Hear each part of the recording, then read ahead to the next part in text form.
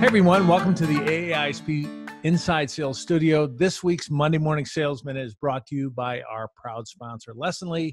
Be sure to stick around at the end to hear how their online enablement platform can help you learn, practice, and get to your quota faster. Now, we're here today with special guest Nikki Harrell. Nikki, welcome. Thank you. It's great to be here, Bob. It's really good to have you. I'm glad we met a few weeks ago, and uh, I, I, was really interested in some of the work you're doing at Amazon Web Services. Nikki is uh, the early career program manager to to develop her talent pool. Uh, today, she's going to talk to you about developing younger, less experienced sales reps, but more specifically, she's going to talk about diversity and inclusion in the talent pool. So, Nikki, welcome. Awesome. Thank you so much, Bob. It's great to be here.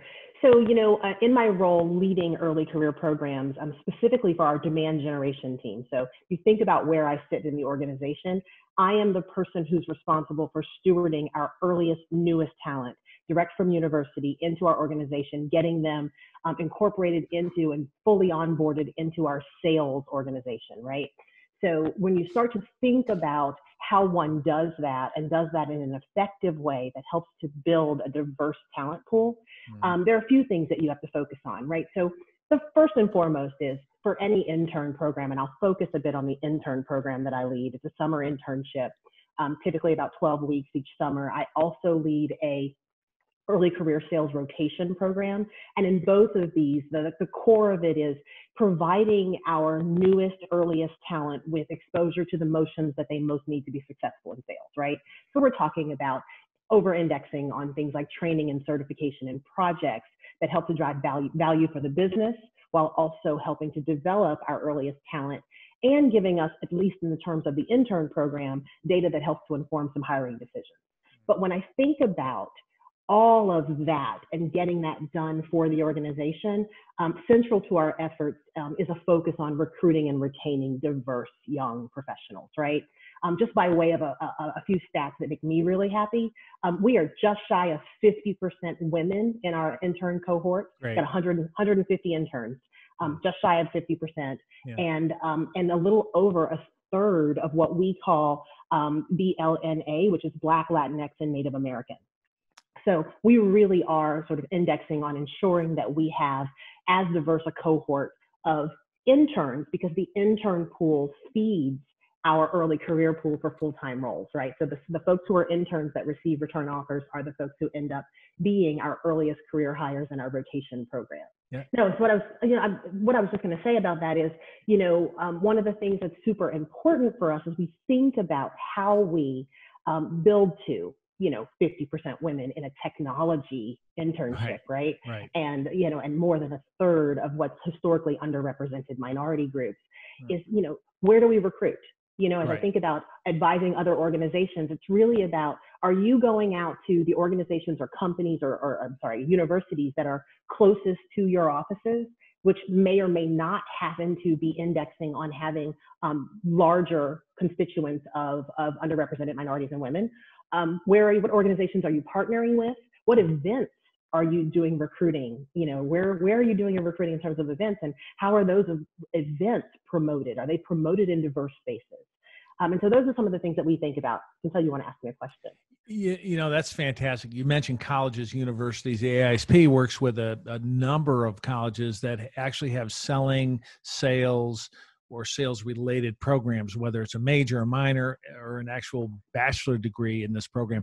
Do you work with colleges uh, specifically uh, that have selling programs that would would have graduates that might be a good fit or interns that might be a good fit? Absolutely. So we definitely, as we look for our interns, we're looking for folks that typically are um, either business um, majors, yeah. and typically a lot of those majors are um, people who are focused on sales in particular. Yep. Yep. Um, but then we also look because we're AWS, we also look at um, at technology, right? Those those yes. organiz- those um, universities that are focused on um, or have really strong technology programs, and then we we sort of triangulate. We have that list, we also then look specifically at historically black colleges and universities yeah. um, to recruit there. And then also, and I'm not, not sure how many of your, um, your listeners are familiar with HSI, but historically, um, I'm sorry, Hispanic serving institutions. So these are um, universities that have a focus on and have a high population of underrepresented minorities who are Hispanic. Now, I was just going to say, so we look at, we've got a sort of three lists that we're triangulating on to ensure yeah. that we cast the broadest possible net to attract all of the bar raising talent that's out there in the market. So, so if you're a leader, the, the message is uh, kind of diversity in, in how you're recruiting, who you're talking to, the mm-hmm. colleges you're looking at. There's a wide range uh, of diversity there, but also you have a, an amazing, ro- amazingly robust internship and then really onboarding if they get placed at AWS. Is there one tip we can sort of end uh, the episode with that would you could share with leaders around? Well, let's say they get the diverse talent coming in and they're they put them through an internship.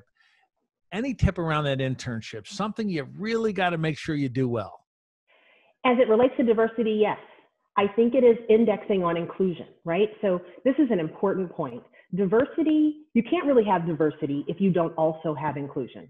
And what I mean by that is you're going to find yourself on a never ending sort of merry-go-round of hiring diverse talent and watching them walk out the door after their mm-hmm. internship and not coming back, or starting with the organization and leaving after a year because they don't feel included. And what does included mean?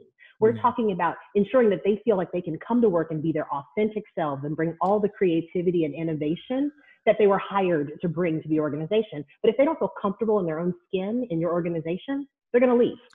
And the best way to ensure that you have inclusive talent is to, or inclusive practices is to talk about it. Be open. You know, for so long in organizations, talking about race and issues of race was um, particularly taboo. We really need to step beyond that, get uncom- get comfortable with being uncomfortable, and have the discussions so that folks understand that the organization cares and that the organization wants to make steps to ensure that we have an inclusive environment so we can retain really awesome talent. You, you, mentioned care. It's really largely a leader's responsibility to create that atmosphere of one care, but listen, be open minded. You know, great leaders kind of put their own ideas and thoughts aside and welcomes you know the diversity the inclusiveness of those that they lead any final Absolutely. thoughts on that? Absolutely. I think the, the, the, the important final point here is that, you know, there are tons of studies out there that say inclusion and diversity um, net you better positive results and productivity, better engaged teams, and honestly, higher and better outcomes for organizations. And at the end of the day, that's what we're here for. So oh, why not do it? This was really, really good. We appreciate it. How how could those watching maybe follow some of your uh, maybe follow you socially or learn more about what you do and, and some of the things that you represent? Oh, sure. So I'm on LinkedIn at Nikki Harrell. Um, and that's probably the best place to find me. But certainly, certainly, if you've got folks that reach out to you that want to learn more, definitely send them my way. I'd be happy to chat. Nikki, sounds good. Thanks so much for uh, sharing these great ideas today. Now, please, viewers, stick around to hear from Lessonly. Everyone, good selling. Have a great week. Bye bye. Lessonly is an LMS purpose built for frontline teams. It empowers leaders to quickly create beautiful branded lessons and share bite sized learning with their teams. Target training to specific reps, teams, or your entire company. The result? Keeping teams aligned and up to date is easier than ever. Practice is the backbone of great performance. So Lessonly enables reps to practice pitching, refine their selling tactics, and gain feedback on practice scenarios like email, phone, video, and more. This allows reps to learn from their mistakes behind the scenes so they can shine when it matters. With Lessonly, use data to measure the impact of learning, find areas for improvement, and make better decisions. We're helping 3 million learners and counting revolutionize their team training. That's why we've consistently been ranked as one of the top sales enablement platforms. Teams across the globe are reducing ramp time, improving retention, and hitting their goals with Lessonly.